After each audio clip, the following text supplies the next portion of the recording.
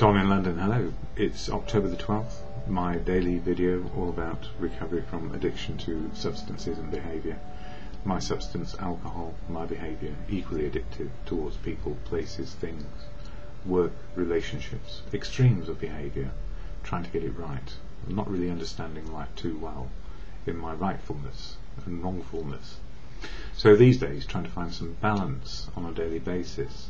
And what helps me is a fellowship that fellowship is AA, Alcoholics Anonymous. Don't speak for AA, never can, never will, never want to. It's full of unique, authentic people who speak for themselves where they choose and where they will. But I share here the daily reflections from this book, which is from AA, one page a day to help meditate and keep on track. And uh, the month of October is all about step 10, doing a personal inventory whenever necessary, usually daily, about my conduct, my personal conduct, and how I'm looking at the world, rather than judging the world. So it's about me and changing my attitudes and behaviour. And for today, it talks about the, October the 12th, curbing rashness. When we speak or act hastily or rashly, the ability to be fair-minded and tolerant evaporates on the spot. So often, a reaction, anger, resentment. Being fair-minded and tolerant is a goal toward which we, I was going to say we, but it says here, which I must work daily. Absolutely true. It's me working on me.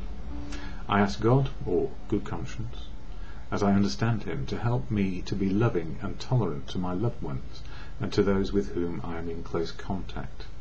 In other words, the purpose behind life, to love, be loved and useful. I ask for guidance to curb my speech when I am agitated and I take a moment to reflect on the emotional upheaval my, my words may cause, not only to someone else, but also to myself.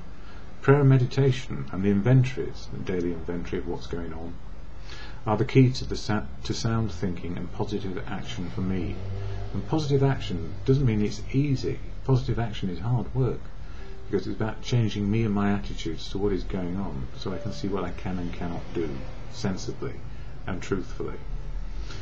And what helps when everything is difficult or easy, because easy can lead me to procrastination and laziness. If it's okay, I won't do anything. But actually, is it okay? And when I do a personal inventory, maybe there are some things I need to look at in terms of my attitude and behaviour.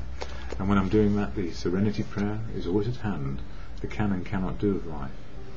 And it's to God or good conscience, this meditation or prayer. God, Grant me the serenity to accept the things I cannot change, courage to change the things I can, and the wisdom to learn the difference, or to know the difference, is, for me, just for today.